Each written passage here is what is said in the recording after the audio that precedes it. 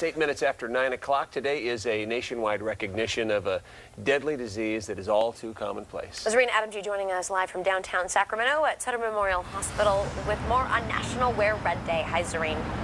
Hi, Paul and Bethany. Yep, it is the 11th annual National Wear Red Day. I'm wearing red right now. You can't really see it. I actually spilled my smoothie on it earlier, so I covered it up.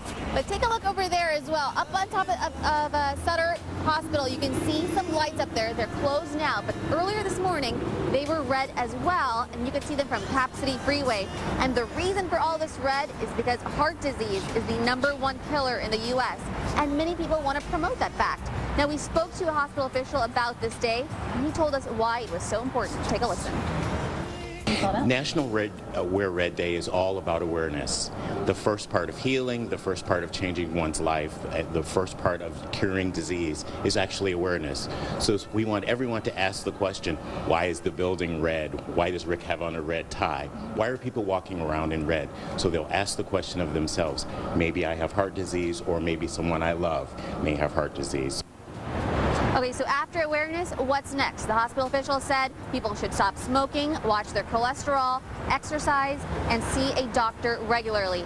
He also said that one out of every three women dies of, of heart disease.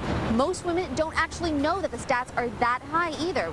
He says the average person would say that breast cancer is a leading cause of death in women. And he also said that every minute a woman in the world dies of heart disease. Now, Sacramento is also celebrating National Wear Red Day. Today at Arden Fair Mall, you guys can go there, and they have free health screenings from Sutter Heart and Vascular Institute, a fashion show that starts at 12 p.m., and that fashion show will feature local heart uh, disease survivors, cardiologists, and volunteers, an autograph signing with Sacramento Kings dancers, balloon art for kids, and a counter at Macy's that will show you how to wear red lipstick in the best way possible. Sounds like a lot of fun. Back to you guys in the studio. All right, thank you, Zareen. Yeah, I read this morning more people die from heart disease than all cancers combined. Wow. So it's uh, good to be reminded and uh, take good care of ourselves.